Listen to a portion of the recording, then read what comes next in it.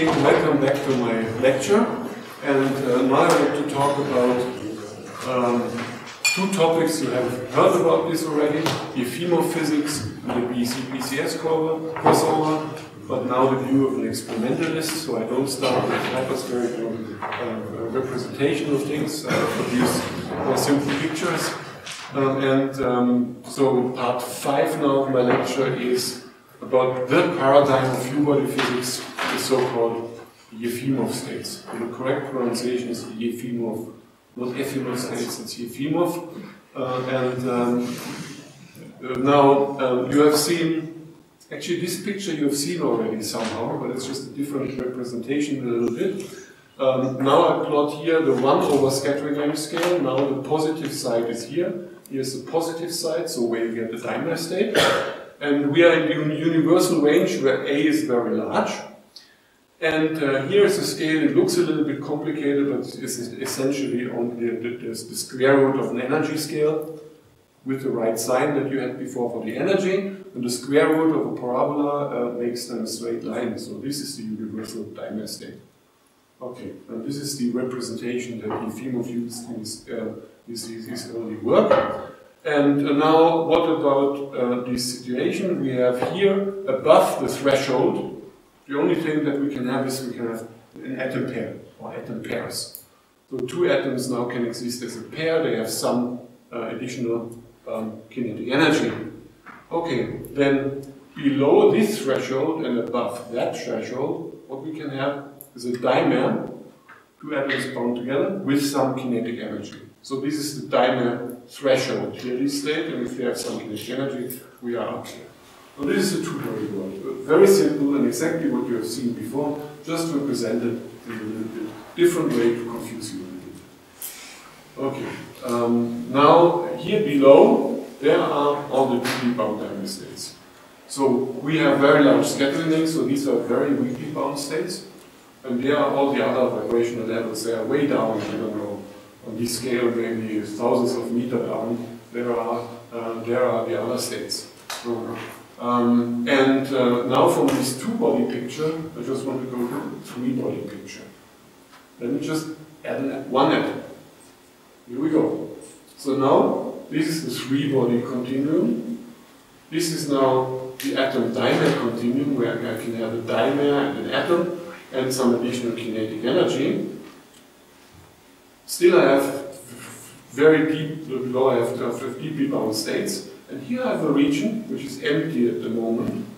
What, what can happen here? I can have trimer states.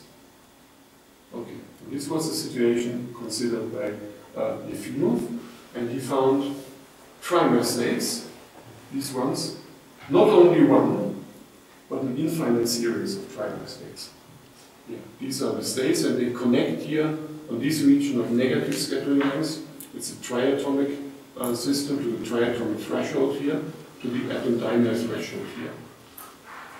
Okay, and what is remarkable about these states is there is this infinite series. I could only plot it in the finite way. I've plotted five states, but there's in principle uh, an, an infinite number of these states. Uh, and I also have also reduced, so this is the scaling factor Dörte has mentioned already, the famous 22.7. I have artificially reduced it to a factor of 2. Otherwise it's very hard to plot it. Um, okay, and uh, so these are now the, uh, the states. And this is Yefimov original drawing um, from a 1970 paper from a nuclear physics journal, and it says that this is spectrum um, the level spectrum of three um, uh, particles um, which don't have spin. Particles, not neutral particles without spin. Uh, and this is now his representation of this series. Okay, let me uh, get back to my uh, drawing, which is essentially the same. And one thing is that these trimer states, they are in this halo world. These are these quantum halo states I've introduced before, not a two-body but a three-body halo state. Um, at least in that region, there's a very strong halo character. Um, then um, the famous scaling law.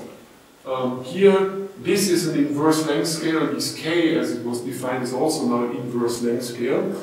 Everything is now inverse length. That means I can start in the center of this block, draw a radial line in some direction. I can draw it at threshold or in any direction. I can draw it along the k scale or in any direction. And I always get now these scaling, these discrete scaling behavior with a factor of 22.7. And this is known as Yefimov's radial law, um, with discrete scaling invariance following the factor 22.7. Okay, what else? This is a region where trimers exist, but no weakly bound dimers. And Lotte has already explained this in terms of these Borromean rings. Yeah, um, so a system which um, is bound with, um, if you have three uh, different objects, then it's a bound system, but if you take one away, the remaining two, they are not bound. So this is called the Borromean region. And what else? Lotte has also mentioned the resonance points, when the states so, so hit the threshold, or merge with the threshold here, we get triatomic resonances, and here so-called atom-dimer resonances. And um, what happens there, something that happens there, is it opens up decay channels. So what happens here, the collide three particles collide at very, very low collisional energy. They form a Yefimov state temporarily, but this opens up then decay channels to more deeply bound uh, states. Um, and, and then it causes loss. Um, and so these triatomic resonances lead to uh, resonant loss features in, uh, in atomic quantum gas, this is the observable that we have in these experiments. Here on the atom dimer side, it's similar. When we create an atom dimer mixture, we can observe decay. And there are some other features on the atomic side. If I create an atomic sample here, where this Yefimov physics shows up in three-body recombination. But these resonance pairs are the most striking uh, features. Okay, so here I've shown this illustration already, three-body decay. I've shown this equation already, the a to the 4 dependence. And then there's the coefficient c. And the coefficient c, it's, it's just a number, but it's a number that depends on the scattering length, and this way, in a log periodic way. So whenever I increase the scattering length by a factor of 22.7, I get the same number again. And here, here this periodicity shows up, and this is how we can see the field of physics. Here is what you need as an experimentalist, a lab with many components there. This is our first cesium lab. There we will observe the Yefimov states. Somewhere in the center of this nest is a vacuum chamber where we can produce cesium atoms in a actually near degenerate gas at a temperature of 10 microkelvin, sometimes even below, uh, and we got down to 4 micro, sorry, not micro, nanokelvin, of course, 10 nanokelvin and um, so sometimes even below. And this is very important because if you want to have a large thermal Broglie wavelengths, not too large because you don't want to have a condensation. Uh, condensation we don't want to have because it's negative scattering length and the condensate will collapse. So all these experiments are, are made in a, in a, in a um, gas close to the condensation uh, and, and um, our most of our experiments are negative um, scattering length. Um, and so cesium has some very nice features, an interesting Feshbach resonance structure. And um, the early experiments where we did were in the low field region. So this is the lowest state where no two-body decay can happen. And you see a range, it looks small here, but it's already a rather large tuning range from minus 2000 up to well, plus 1500 more. Um, this is already a very good tuning range. And in this tuning range, we found the first Yefimov feature. Later, we upgraded our magnets, uh, and we could produce now fields of close to one kilogauss, and we could exploit this resonance. And this is now the world record holder in uh, strength or broadness of the resonance. This is the super entrance channel dominated resonance we could use for the experiments. And this makes the situation quite comfortable and clean. So this is the resonance that we used in the experiments. Then there are many other narrower Feshbach resonances which I've all here um, um, neglected. We, we know them all and if you want to have details, then just look at this paper. So what I want to show the main results. Here is the first observation of a Efimov resonance at the low field region. Here the scale is uh, scattering length scale, it's negative, it's positive. On the negative side at around minus 900 you find this resonantly enhanced loss feature.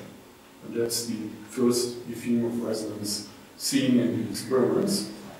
And uh, then you asked the question, or you asked many questions about this, but I just want to ask the question, can we see this second resonance? And the second resonance needs then, this is minus 9,000 times 20 roughly, means something like minus 20,000 already. We had to find a way how to do this in a very controlled way and, and so on. But finally we could, we could do it and we could really observe the second, um, a second uh, feature near these, uh, the resonance position really was around minus 20,000 A naught. And um, this really needed, I mean, this is not still somehow temperature limited, and uh, we needed also description taking final temperature effects into account. This was actually developed in, uh, in, uh, in, Paris and related to experiments on the lithium-7 uh, system and large gatherings. People have talk about related things, yeah, but certainly at large, about large scatterings, not about this one.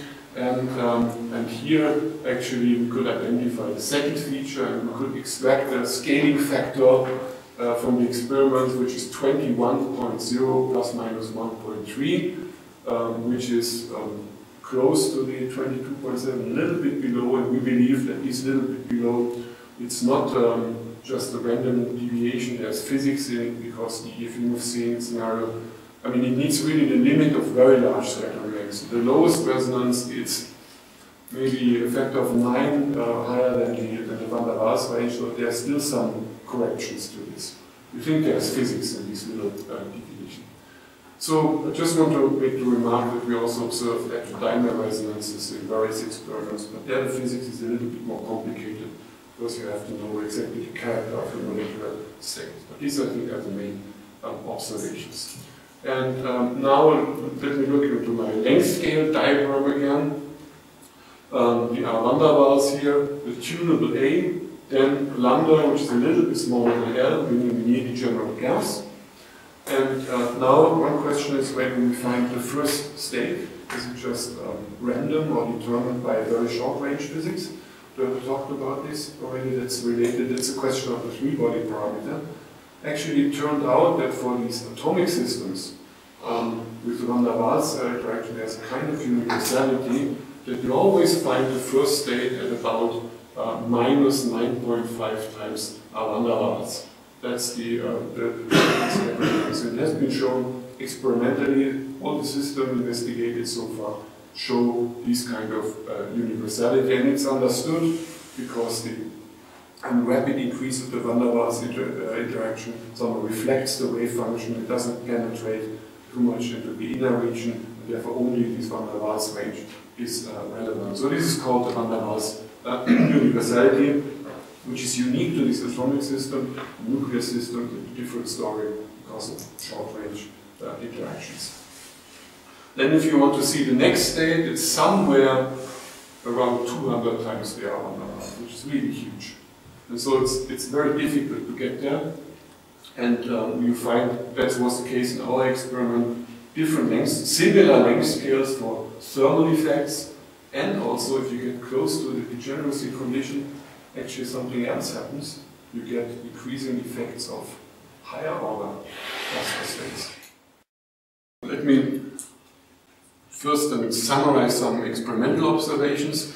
Um, and so the three identical boson system has been investigated with, with cesium, Innsbruck, potassium uh, 39 in Florence, uh, lithium 7 in, in, uh, in Rice, Thailand. There are also related experiments in, in Paris, and, uh, and uh, rubidium 85 at, uh, at, at JILA. Uh, and um, so spin mixture fermions is a special system where you have non-identical particles, but they all show uh, pairwise almost resonant interactions. By, uh, to my best knowledge, three groups, um, the Heidelberg group, I mean, group, at Penn State University, the University of Tokyo, and um, that's a kind of special system which uses the properties of a lithium-6 system, that everything is almost resonant. And um, then um, another system, mixtures of different species by, by several groups. Um, and um, and uh, just want to point to maybe the most extreme system in, in terms of mass imbalance, lithium-6 and, and, cesium, uh, which has been investigated in Heidelberg and Chicago, and I think we'll hear a talk by Matthias Weidemüller on Wednesday on this. And this is particularly interesting because for systems with large mass imbalance, the Efimov period gets smaller. And in this case, the Efimov period shrinks from 22.7 to 4.8. And this gives us a possibility really to observe not only two states, but three, two periods and, uh, and, and, their behavior. This has really been an important advance, but you will hear about this on, on Wednesday. But now, okay, this is another picture I want to show. Alert has shown it already. Um, this is, um, I mean, the Yefimov states that that's a long story, and um, and uh, many years ago, I don't know exactly when, uh, long uh, a search for Yefimov states in uh, helium molecules has, uh, has started. I mean, there was Peter Toennies with many experiments, and, um, and, uh, and um, so this was a long story, and now only maybe two years ago, this story now ended successfully by a new, new, kind, new method to image these states. And that's actually, so um, uh, the, the, group of Reinhard Dörner, they, um, was um, uh, also collaborating on this um, with, uh, with a group. They, they created their helium beams under certain conditions. They found out what is a good production condition. They create these trimers and then rip, up the, rip, uh, rip off the electrons immediately and then monitor the Coulomb explosion of the system. And then you see that these trimer states form. This is a heroic experiment which I like very much and which also shows a little bit that, I mean, um, so the molecular community has essentially given up on these states. Then came the cold atoms, and we could show the Yefimov resonance that the states are there. And this renewed the interest in the whole field. I think it also triggered, um, I mean, contributed a little bit to triggering also this kind of research with new methods, uh, which was finally uh, successful. I think it's a very nice story. Okay, now um, the universal three-body scenario I've shown already several times, but I promised you to say something about n-body states. So now it's about the n-body states. I start with the three-body scenario, and now I ask what happens when I add another particle. Um, and um, now I have four atoms, and this becomes now the four-atom threshold. And um, here I have the um, um, uh, dimer state plus two atoms, and this new line is the threshold of two dimers. And here two dimers um, uh, can, can, can exist with some kinetic energy. And actually it turns out that now you find new states, four body states, and here I illustrate a pair of four body states which is associated to the Yefimov state. It has been shown that there is a universal relation if you know the Yefimov state, you know this pair of four-body states. And there's not only one pair of these four-body states, there is an infinite series. So each, every uh, Yefimov state has um, associated to it a pair of these four-body states. Uh, and uh, this is now um, uh, kind of an established situation.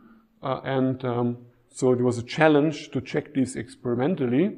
And um, a couple of years ago, we carried out an experiment on cesium, looking actually now on uh, resonance points on the four atom threshold where you see uh, resonant four body recombination.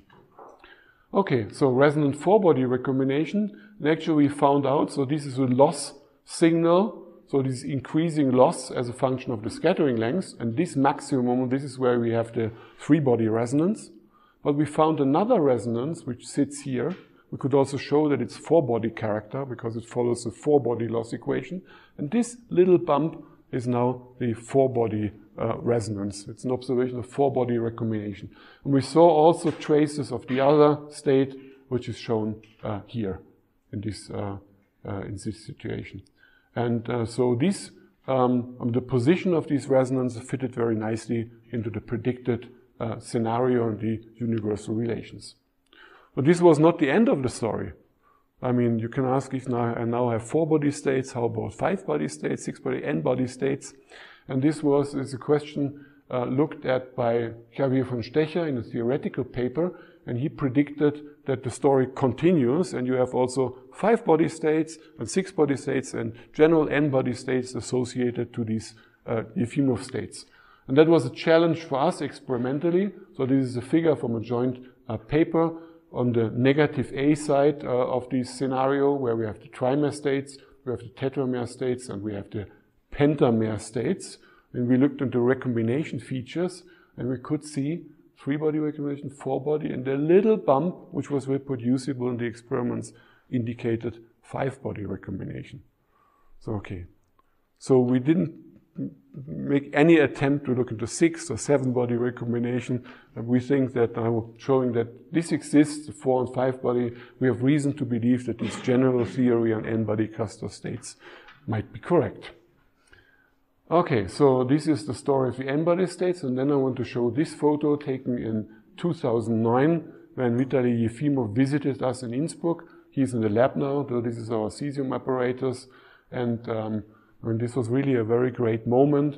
And I have to say that, I mean, his name really stands for the paradigm of ultra cold few body physics.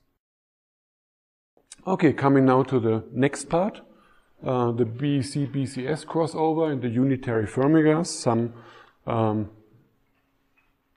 experimentalists use. So we start, that is the famous spin mixture of lithium 6 atoms. So we go to high magnetic field and we produce two fermions in different magnetic substates.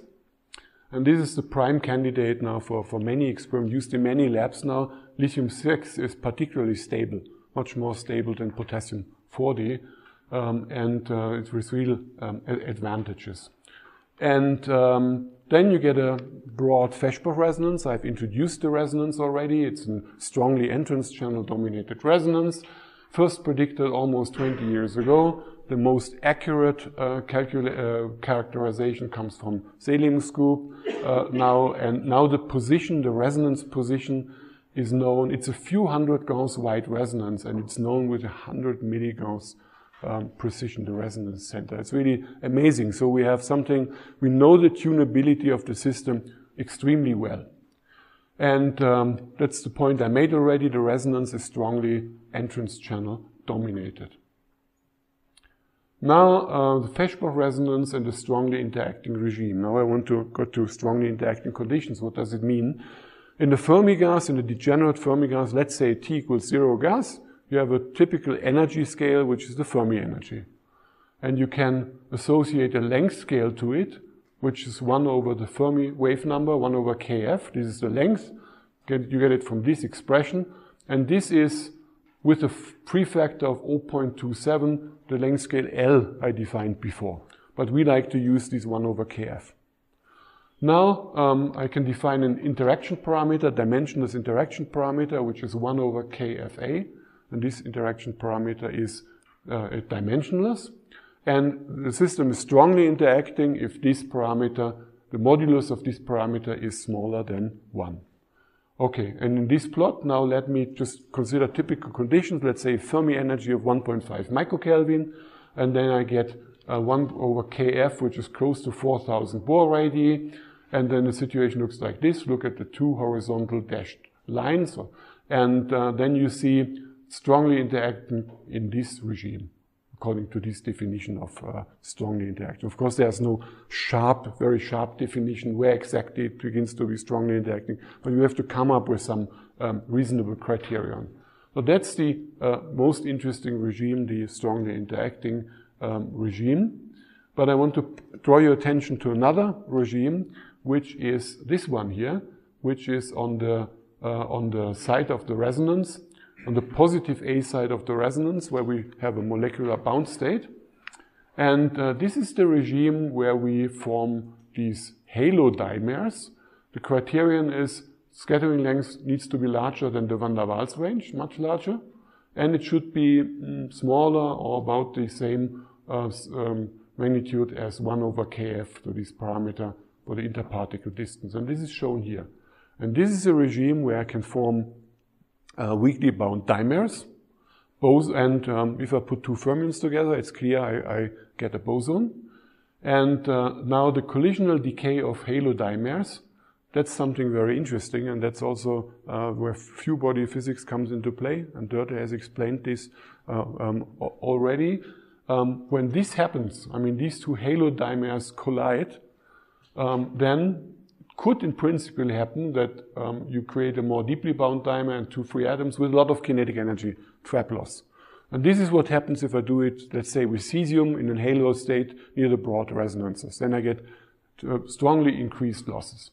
But if I do this with the fermions, it's a totally different situation. There's Pauli blocking uh, in this game, and the collisional decay is very strongly uh, suppressed, and it, you, you get an extremely stable situation. And um, so you, you need two ingredients. First of all, you need this halo type wave function um, for, the, for the colliding atoms, and then you need the Pauli suppression that you have a pair of uh, non-identical particles. This works for dimer-dimer collisions and for atom-dimer.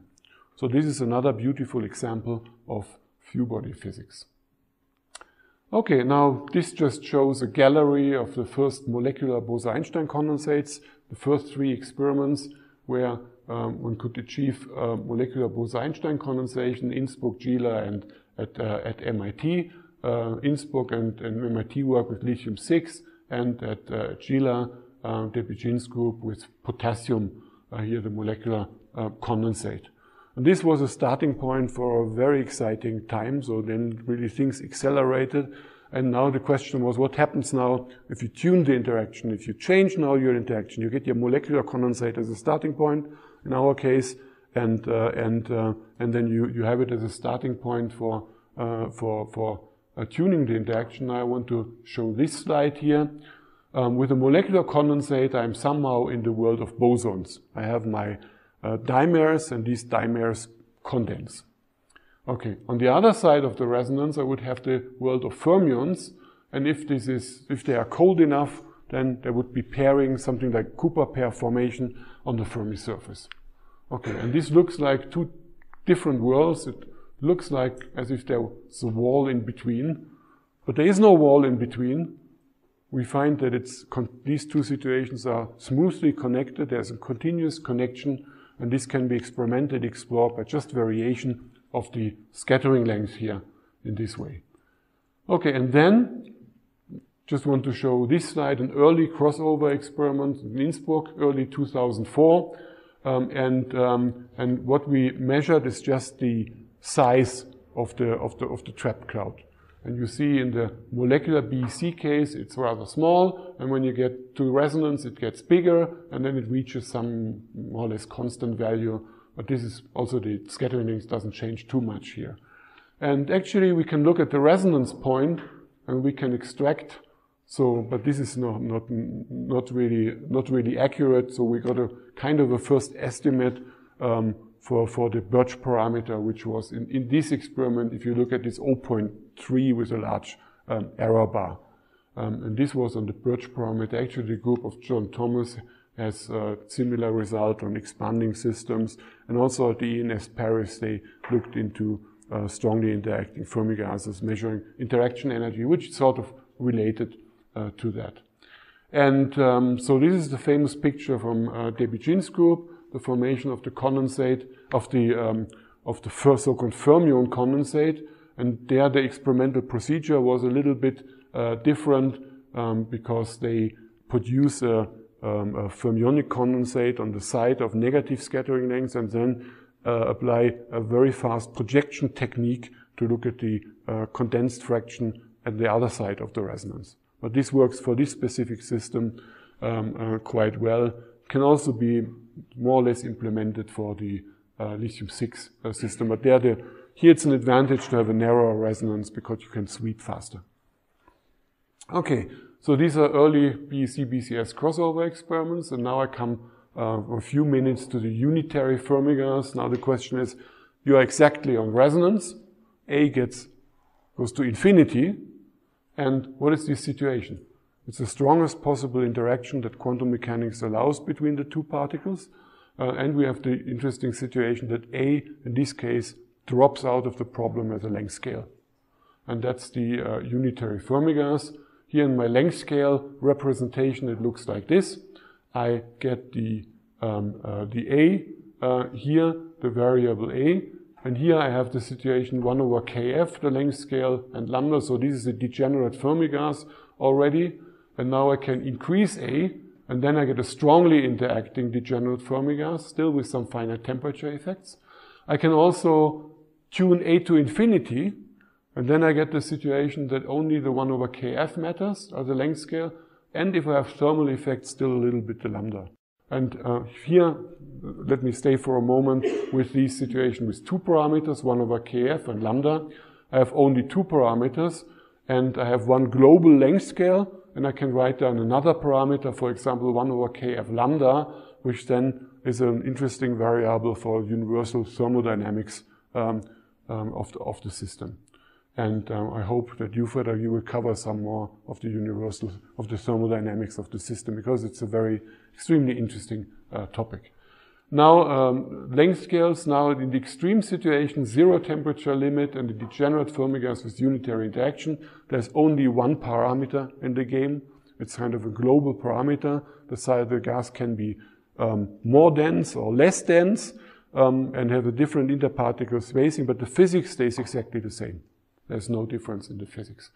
And the situation fully characterized by one length scale only, essentially the same situation as we get it in a non-interacting T equals zero uh, Fermi gas. And then you may ask, but what then, if I only have this one parameter, what is then the role of interactions? What, the, what, can interaction do? That's the question. And the answer is relatively simple. The only thing that can happen, let's now consider a homogeneous system in a box-like potential. Have the chemical potential at T equals zero, which is the Fermi energy for a non-interacting gas. And if you have an interacting gas, the only thing that can happen is rescaling. You get a lower chemical potential, something like this. This is the chemical potential of the resonant gas.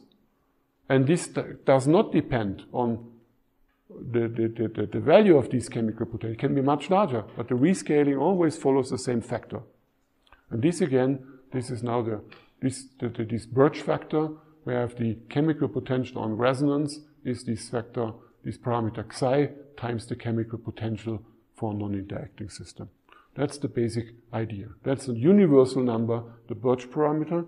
Sounds very fundamental, uh, and uh, it's uh, because also it connects to things like neutron star physics. Actually, in the crust of a neutron star, you have such a system of spin-up, spin-down particles with a resonant, almost resonant interaction. And uh, it's a very challenging many-body problem uh, to uh, get to this parameter. And now it's very nice that now the experiments on the Fermi gases and advances in theory have mutually stimulated each other and now led to a, we now know this Bertsch parameter and I think theory experiment agrees with, I think, three digits or less than percent uh, precision now. It's really amazing. And um, yeah, what is a simple way to measure this parameter? Simple, uh, but of course it only works if you have a t equals zero system uh, then uh, what happens actually, you can show that the system shrinks. Um, so this is the shrinking of the size in the trap, and the spatial shrinking is proportional to the fourth root of, of theta. So if you measure the shrinking, you get a relatively large error bar on that. That we what did in the first experiments on the on the crossover. But now there are better ways to do it in the experiment, or also taking into account finite temperature um, uh, effects. And this connects now to measurements of the equation of state. There have been several experiments um, um, uh, related to the equation of state of the system, uh, and also early work, I think now, it, it, was in 2010 from the ENS Paris, also from Duke University, University of Tokyo, and I think now the state-of-the-art measurement now in the field is the measurement from MIT, the Zwierlein group, on the equation of state, and um, I don't want to go into details here, it's, it's too complicated, but just want to say that um, you have some universal function, which here you have the chemical potential over the thermal energy, and this is the number density over the uh, number density without interaction, but you can express it in uh, various different ways. And the red line here, these is, are experimental results. So these are experimental results. The other things are various theoretical results. And I want to point to yeah, the Bertsch parameter, which comes out of this experiment now with a percent uh, accuracy. Also want to point to something else, which is this. There seems to be some kind of discontinuous, discontinuous behavior. Goes up here as a straight line, but then something happens. Yeah, what is going on here? Actually, this is the situation where the gas is cold enough to get superfluid. And superfluidity is studied and the Fermi gas. I just want to point to two uh, results. One is the uh, nice observation of vortex lattices at MIT in 2005. Before we had some evidence on superfluidity, for example, from collective mode measurements and low damping. Um, but this experiment made it crystal clear. I mean, you have the vortex lattice here, and this, uh, uh this uh, unambiguously shows uh, superfluidity uh, in the system in the crossover range. This is on resonance on the molecular side and on the BCS side of the resonance. And one experiment we carried out a um, couple of years later is uh, on the observation of second sound. So second sound is a phenomenon in a superfluid which comes from the two fluid nature. You have the superfluid component and the thermal component, and there you can have the propagation of a density wave. This is shown here, and here's the propagation of an entropy wave, uh, which we observe here. And from that, actually, one could deduce um, something. For measuring the sound speed, you can having some theoretical support, which we got from the Stringari group in Trento, then um, we, you can um, extract the superfluid fraction, which is also a very important many-body quantity, quantity, which is very, very hard to calculate. And that's it's a nice example how we can really come up in an experiment with some measurement and stimulate now hopefully also theoretical progress at these lines. And this is the nice thing in our field that you have this close interaction theory and experiment, and new experimental results stimulate new theory. A theory then can make other suggestions, come up with new problems, and this is very nice uh, in our whole field. Okay, now the last part, I think I have a few minutes left. I only need a few minutes. Just want to flash a few topics um, here. Okay, so um, um, a few topics uh, of, of interest. Um, there are many interesting developments going on um, with uh, at um, uh, quantum gases at very large scattering lengths. One example is the uh, unitary Bose gas. So what happens when you take a gas of bosons and you go to, infinity? Are you going to talk about this? the unitary Bose gas things. Okay, that's another interesting uh, subject. I uh, have no slide on this, but it's also very interesting. And um, just want to make a few points. One thing is, and this connects to Dörte's talk, I mean, I start with a very large system, but now what happens if I introduce a trap size, which becomes relevant? Then I get the harmonic oscillator length, and these harmonic oscillator lengths, in particular in a lattice or in microtraps, becomes relevant and changes the whole problem. And this can happen in 3D, this can happen in, in lower dimensionality, and this connects now to regimes of low dimensional or even mixed dimensional um, systems. And the other length scale I can introduce is, you have an idea what, what, what else I can introduce as a new length scale? Yeah, so dipole-dipole interaction. So if I have a dipole-dipole interaction in the system, I can introduce a, a length scale which is given here. And um, this can lead to new phenomena. It makes the situation anisotropic and has uh, uh, new effects. And here's one example from Francesca Ferlaino's group in Innsbruck on uh, the uh, on, on, droplet formation in such a quantum gas, and I think we will also hear a talk about this on this conference. Um, okay, so two new length scales and the problem. Another thing I want to quickly mention, so we find that uh, um, strongly repulsive systems are very interesting. You will hear a talk tomorrow on the Florence group. Uh, Matteo is here and talk about this um, um, uh, about um, creating anti uh, so so um, repulsive Fermi, Fermi systems uh, with kind of an antiferromagnetism where uh, the two spin components repel each other. And this also connects to a very fundamental problem in condensed matter physics, the Stoner problem. And I think from this experiment we get some new insight on these problems. So this is for tomorrow then more details. Strongly repulsive states, we also work on this in a mixture of fermions and bosons in Innsbruck. for bosons of potassium-41, fermions of lithium-6, and we observe a very clear phase separation, and we find a way now how to probe the remaining overlap of the two species at the interface between the two phases. And I think this connects now to yeah, physics at the interface. And I think that is also a new interesting uh, direction on where you need large scattering lengths. Uh, this is yeah, polaron physics.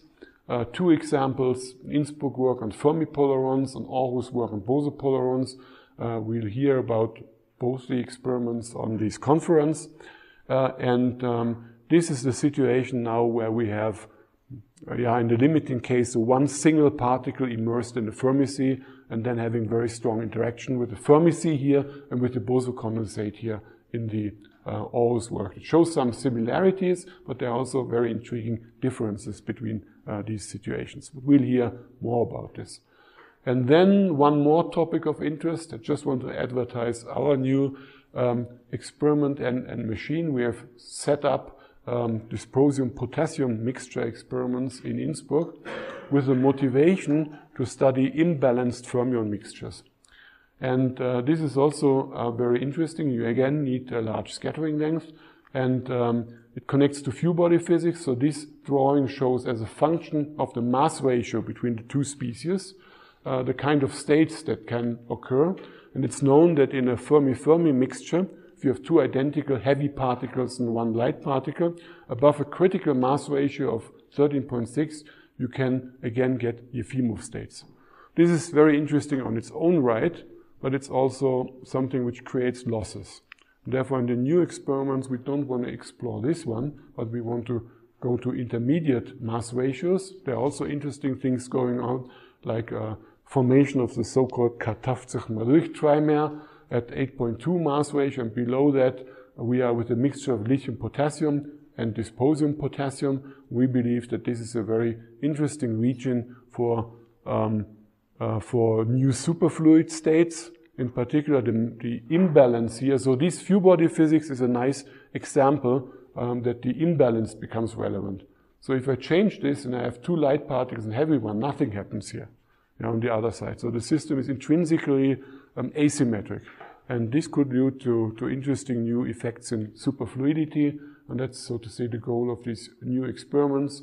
And uh, we hope to be able to present more very soon. I think we have a poster on this here on the, uh, on the conference reporting on the current state of the experiment. Now, this brings me to my conclusion. The conclusion is very short. Just want to point out ultra cold atoms are um, yeah, from few body to many body physics, the main theme of this conference. It's a very interesting and exciting research field with many new opportunities to get great results and enjoy the conference. Thank you.